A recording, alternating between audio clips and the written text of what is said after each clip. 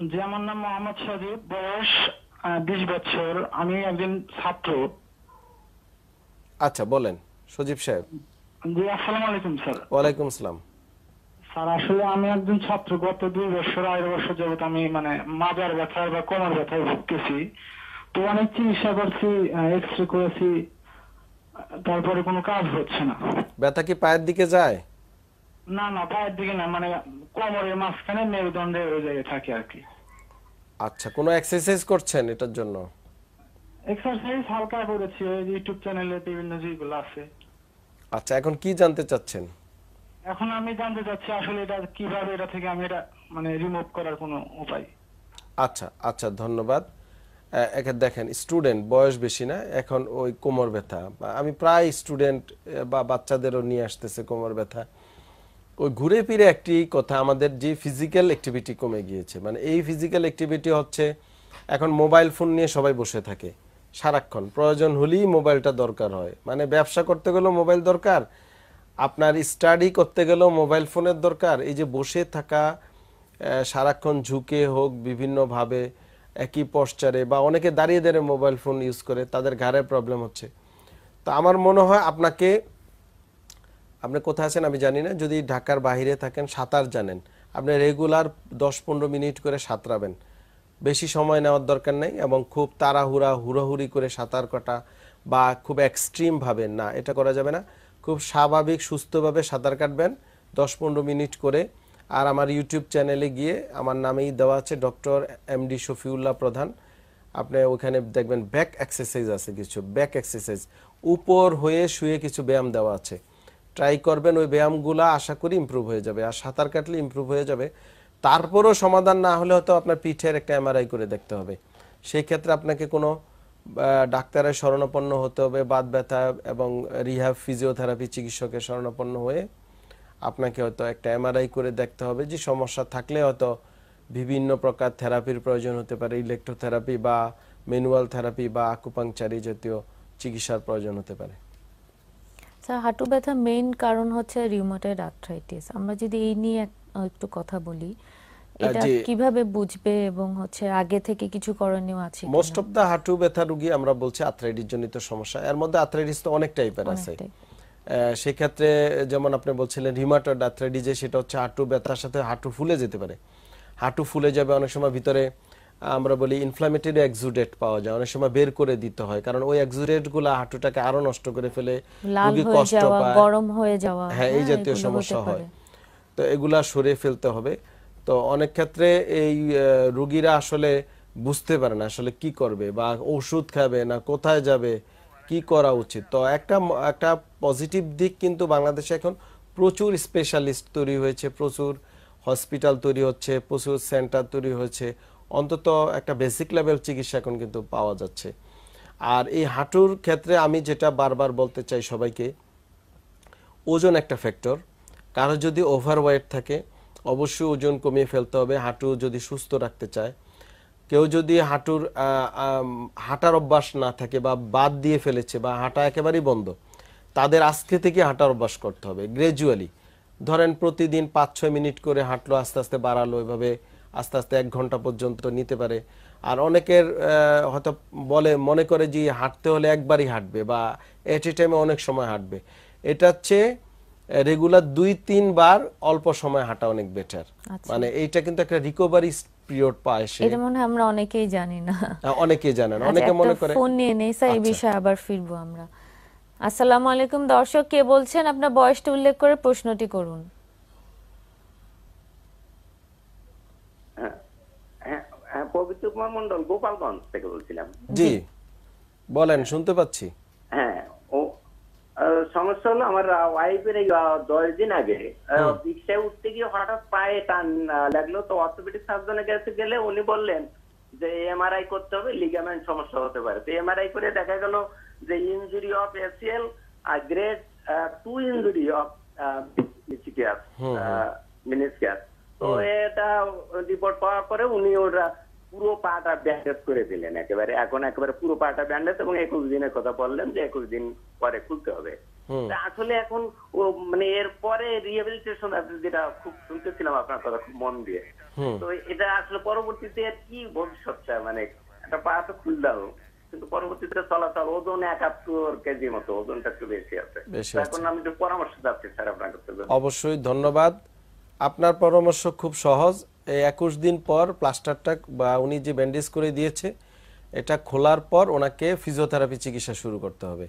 As early as possible আপনি doctor সাহেবকে বললেই উনি এটা ব্যবস্থা করবেন এবং হাঁটুর বিভিন্ন এক্সারসাইজ আমার ইউটিউব চ্যানেলও দেওয়া আছে, ওই এক্সারসাইজগুলো ওনাকে করতে হবে। আর পাশাপাশি ওনাকে এই যে কয়দিন বলবেন ওজন কমাতে, ওজন কমানোর জন্য যদি কোনো থাইরয়েডের প্রবলেম না থাকে, সেক্ষেত্রে ডায়েট কন্ট্রোল করি করতে হবে। খাবার যাহা খাচ্ছেন উনি সেটাই খাবেন সেটার পরিমাণ কমাতে হবে। পেট খালি রাখতে হবে পর্যাপ্ত পানি খেতে হবে। আফটার ইয়ার পরে আপনাকে ফিজিওথেরাপি চিকিৎসা নিলে ইনশাল্লাহ উনি এই সমস্যা রিকভারি হয়ে যাবে। এতে টেনশনের কোনো কারণ নেই। আমরা একটু বলছিলাম হাঁটার ব্যাপারে। আমরা তো জানি যে হাঁটা দিনে একবার এক ঘণ্টা হাঁটলেই হয় কিন্তু ভাগে ভাগে হাঁটাটা এটা এটা আসলে হয়ে ওঠে না অনেকের হয়তো বাট অনেকের ধারণা যে টানা সকালে ভোরেই হাঁটতে হবে। এটা আমি প্রায় রুগী বলে, স্যার, হাঁটবো কি সকালে? ভোরে। এটা ভোরে হাঁটার কারণটা হচ্ছে অন্য একটা ইস্যু আছে। সেটা হচ্ছে বাংলাদেশ একটা মোস্ট অফ দ্য ইসলামিক একটা কান্ট্রি সকালে সবাই ফজরের নামাজ পড়তে উঠে এবং সকালের পরিবেশটা খুব ভালো থাকে। হ্যাঁ একেবারে কোনো ধুলাবালি নাই, কিছু নাই। সারা রাতে যে হয়তো কুয়াশা হতে পারে বা পরিবেশটা ভালো। এই এই ভালো একটা ওয়েদারে সবাই হাঁটার অভ্যাস কর- করেছে বা আমরা বলি করতে। এই জন্য সকালে কথাটা বলেছে। এখন সবার দ্বারা তো আসলে সকালে উঠে এই কাজটা করা সম্ভব না। স্পেশালি ব্যথা রুগীদের সকালবেলা উঠা কোনোভাবেই সম্ভব হয়ে ওঠে না। আর্থ্রাইটিস রুগী তারা উঠতেই পারে না। কষ্টে তাদের একেবারে জীবন অসহ্য হয়ে যায়। তো তাদের ক্ষেত্রে তারা কিন্তু আস্তে আস্তে সকাল গড়িয়ে যখন দুপুর হয় বিকাল হয় আস্তে আস্তে তার ব্যথাটা কমে আসে অনেক ক্ষেত্রে। তো যখন সে পারে তখনই সে হাঁটবে। কথাটা হচ্ছে আপনার লাইফস্টাইল আমার লাইফস্টাইল কিন্তু এক না। এক একজন এক এক জায়গায় আছে। কেউ গ্রামে কেউ শহরে কেউ হচ্ছে আধা শহরে কেউ হয়তো এমন এক পরিবেশে থাকে তাকে বাসা থেকেই বের হইতে সম্ভব না তার জন্য। তো সে বাসায় ট্রেডমিলে হাঁটতে পারে বা বাসার ছাদে হাঁটতে পারে। হাঁটতে পারে। এই ডিপেন্ডস অন এটা হচ্ছে আমার কথা হচ্ছে হাঁটতে হবে। এখন হাঁটাটা আমি যদি ফিক্সড করে দিই আপনাকে ভোরেই হাঁটতে হবে তাহলে তার দ্বারা ভোরে আর হাঁটা সম্ভব হবে না সে আর হাঁটবে না। হাঁটতে হবে যখন সে পারে। এখন সেটা হতে পারে একজন অফিস ওয়ার্কার সে রাত নয়টা পর্যন্ত অফিসে ছিল। নয়টার পর থেকে আধা ঘণ্টা হেঁটে বাসায় গেল। সকাল নয়টায় হয়তো অফিসে যায়। অফিসে যাওয়ার সময় সে হেঁটে গেল। মাঝখানে দুপুরে এক ঘণ্টা সে ব্রেক পেল। ওই একটা ঘণ্টা একটু সে পাশে যদি কোনো তার হাঁটার জায়গা থাকে হাঁটবে। তো ইট ডিপেন্ডস অন আর একটা শুধু ইম্পর্টেন্ট ইস্যু হচ্ছে ভরা পেটে হাঁটাহাঁটি করা যাবে না। মানে খাবার খেয়ে হাঁটতে নামা যাবে না। ন্যূনতম দুই ঘণ্টা বা তিন ঘণ্টা পরে হাঁটতে হবে। খালি পেটে বেস্ট খালি পেটে এটা বেস্ট যে সকালে হাঁটাটাও ঘুরে একই কথা সকালে ঘুম থেকে উঠে খালি পেটে থাকে এই জন্য মানুষ হাঁটে জি। বসা ওঠা এগুলো মাঝে স্যার কিছুক্ষণ গ্যাপ দিয়ে হাঁটাটা অনেক জরুরি স্যার। অবশ্যই। এটা আসলে সময় ধরে বসে থাকলে স্যার বিভিন্ন জয়েন্টে কিন্তু এই সমস্যাগুলো বেশি দেখা যায়। হ্যাঁ শুধু গার্মেন্টস না আমরাও তো যখন ডাক্তারি করি বসেই থাকি যেকোনো desk job যে কোনো ডেস্ক জব বা একটা লোক একটা কাজ করছে সে সে হয়তো একটা সেলাইয়ের কাজ করছে সে হয়তো একটা অফিসিয়াল কম্পিউটার কাজ করছে হ্যাঁ। বা কোনো একটা ডিজাইন নিয়ে ব্যস্ত সে ইঞ্জিনিয়ার হোক সে আর খেয়াল করে না যে সে ওই মনোযোগটা কিন্তু তার তখন কম্পিউটারের মধ্যে। এই যে প্রলং সিটিং প্রলং অ্যাক্টিভিটিতে যেদিন তার সমস্যা তৈরি হয় সেদিন হয়তো ডাক্তারের কাছে এসে বুঝে যে তার বসার সমস্যা থেকে এটা হয়েছে।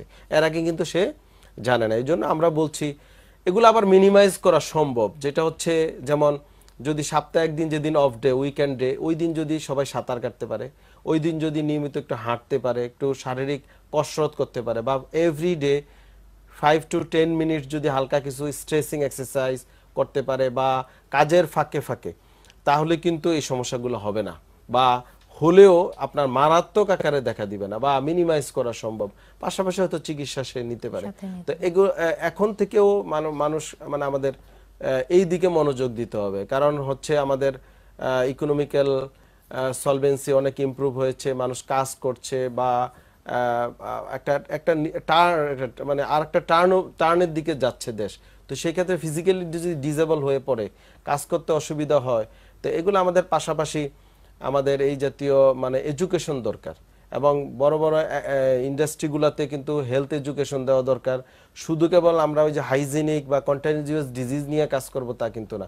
আমাদের এখন নন কমিউনিকেবল রোগ এই যে ব্যথা বেদনা আর্থ্রাইটিস ডায়াবেটিস মানে হার্টের রোগ বিভিন্ন এগুলা নিয়ে আমাদের কিন্তু এখন সচেতনতার দরকার হ্যাঁ। আছে। সব বন্ধ এখন হয়তো মুভমেন্ট শুরু হয়েছে তো আমার মনে হয় যে একটু আমাদের যদি যে যার লেভেল থেকে একটু হাঁটার অভ্যাস করে এই সমস্যাগুলো অনেকাংশে কমে আসবে আর হাঁটার সাথে সাথে পানির একটা সম্পর্ক আছে মানুষ যদি শরীর ডিহাইড্রেট হয়ে যায় বা পানির শূন্যতা থাকে তাহলে কিন্তু কাপ মাসেল পেইন করতে পারে কাপ মাসেলকে আমরা বলি পেরিফেরাল হার্ট মানে ডাক্তারি ভাষায়। মানে আমাদের শরীরের নিচের অংশের যে মাসেল মানে ব্লাড সার্কুলেশনটা সেটাকে সে আবার ব্যাকফ্লো করে কাপ মাসেল এখন কাপকে যদি আপনি সংকোচন প্রসারণ না করান, হাঁটাহাঁটি না করে মুভমেন্ট না করে, তাহলে কিন্তু সার্কুলেশনও প্রবলেম হবে। এই জন্য পর্যাপ্ত পানি খেতে হবে যে অন্তত একটা মহিলার জন্য থ্রি লিটার পানি পার ডে পুরুষ চার লিটার পানি পার ডে তিন থেকে চার লিটার বা দুই থেকে তিন লিটার মহিলার জন্য। তো এগুলা পাশাপাশি যেটা হচ্ছে আমরা কাপের বিভিন্ন এক্সারসাইজ করতে পারি স্ট্রেসিং টাইপের এক্সারসাইজ বা কুসুম গরম শেক দিতে পারি। আমার মনে হয় কিছুদিন উনি হেঁটে দেখতে পারে, পনেরো বিশ দিন টানা, বিশ পঁচিশ মিনিট করে হাঁটা, এটা করতে করতে এবং পাশাপাশি গরম শেক দিয়ে পানি বেশি খেয়ে ভিটামিন ডি ক্যালসিয়াম এগুলা মাঝে মাঝে খেয়ে দেখতে পারে। না হলে হয়তো ডাক্তার দেখাতে হবে। পরামর্শ নিতে হবে। আরেকজন বলেছেন, উনি রিপন মিয়া সৌদি আরব থেকে প্রশ্ন করেছেন উনি বলেছেন যে দুই বছর থেকে ওনার পায়ে ব্যথা। অনেক মেডিসিন খেয়েছে, খেলে কমে, কিন্তু দুই মাস ধরে এটার সাথে সাথে কোমরের একপাশে ব্যথা শুরু হয়েছে। এখন করণীয় কি? অবশ্যই ধন্যবাদ। আসলে আমাদের সৌদি আরবের শুধু সৌদি আরব না, আমাদের মধ্যপ্রাচ্যে অনেক মানুষ জব করে বিভিন্ন লেভেলে ওনাদের কিন্তু প্রচুর শারীরিক বিভিন্ন সমস্যা হয়। আমার কাছে কিন্তু ওই যে গার্মেন্টস কর্মী যেমন আসে, আমাদের প্রবাসীরা ইভেন কি আমাদের ইউরোপ থেকে অনেক রুগী আসে, তাদের এটা বলি আমরা যে আর্গোনমিক্যাল প্রবলেম বা প্রফেশনাল হ্যাজার্ড ওয়ার্ক হ্যাজার্ড হয়ে থাকে, কাজের প্রবলেম থেকে হয়ে থাকে, বিভিন্ন সময় এটা আমরা পেয়ে থাকি। তো আরেকটা হচ্ছে ওই মধ্যপ্রাচ্যে, আরেকটা জিনিস শুধু মধ্যপ্রাচ্যে না ইউরোপেও খাবারের একটা প্রবলেম আছে। ওখানে সব ফুড হয়ে হচ্ছে সামুদ্রিক মাছ রেড মিট ফাস্ট ফুড এই খাবারগুলা তাদের ইজি এবং পর্যাপ্ত এবং সহজেই খেতে পারে। তো যার কারণে দেখা যায় যে অনেক সময় ইউরিক অ্যাসিডের লেভেল বেড়ে যায়, বিভিন্ন আপনার সার্কুলেটরি ডিসঅর্ডার হয়, তখন পেইন বেদনা হতে পারে বা ইউরিক ইউরোসেমিয়ার কারণে, ইউরিক অ্যাসিড বেড়ে যাওয়ার কারণে শরীরে কিন্তু আমরা যেটা বলি গাউটি আর্থ্রাইটিস সেটা ডেভেলপ করতে পারে, ব্যথা, বেদনা হতে পারে। তো এই ক্ষেত্রে খাবারগুলা আমি এর আগে বলেছি সবাইকে, কমিয়ে ফেলতে হবে যে যতদূর সম্ভব মিনিমাইজ করা যায়। অল্টারনেটিভ সেটা মুরগি বা হাঁসের মাংস খেতে পারে তারপরে হচ্ছে আপনার দুধ, ডিম খেতে পারে, দেশি মাছ যদি পাওয়া যায় খেতে পারে, বা শাকসবজি খেতে পারে, শাকসবজি তো অ্যাভেলেবেল এগুলা খেতে পারে। আর ওনার ক্ষেত্রে আমার মনে হয় পাশাপাশি হয়তো ডিক্সের সমস্যা থাকতে পারে। রিপন সাহেবের যে পিএলআইডির সমস্যাই সাধারণত কোমর ব্যথা হয়, পায়ে ব্যথা যায়, আমরা কমন পেয়ে পেয়ে থাকি। তো আমার ইউটিউব চ্যানেলে পিএলআইডির বা কোমর ব্যথার যে ব্যায়ামগুলো আছে, আপনি ওগুলা দেখে করতে পারেন। কিছুদিন মাঝে মাঝে একটু রেস্টে থাকবেন। সামনে ঝুঁকে কাজ করার প্রবণতা কমাতে হবে, সেক্ষেত্রে হাঁটু ভেঙে বসে কাজ করতে হবে। তাহলে এই সমস্যাগুলো অনেকাংশে কমে আসে। আর আপনি tablet B one B six B twelve কিনতে পাওয়া যায়, এটা আপনি সৌদি আরবে পাবেন প্রেসক্রিপশনের প্রয়োজন নেই। একটা করে দুবেলা টানা দুই মাস খেয়ে দেখেন। না হলে আপনাকে হয়তো ডাক্তারকে দেখাতে হবে, যারা বাদ ব্যথা নিয়ে কাজ করে বা ফিজিওথেরাপি চিকিৎসক, তাদেরকে দেখাতে হবে। সাপ্লিমেন্টের সাথে সাথে এক্সারসাইজ এগুলো খুব জরুরি স্যার জি অবশ্যই। আমার কাছে মনে হয় স্যার এটা যদি রেগুলার আমরা চেক আপের মাঝে থাকি তাহলে অনেকাংশে হয়তো বা ভালো থাকতে পারব আগে থেকেই। কোনো রোগ এক্সট্রিম পর্যায়ে যাওয়া আগ পর্যন্ত।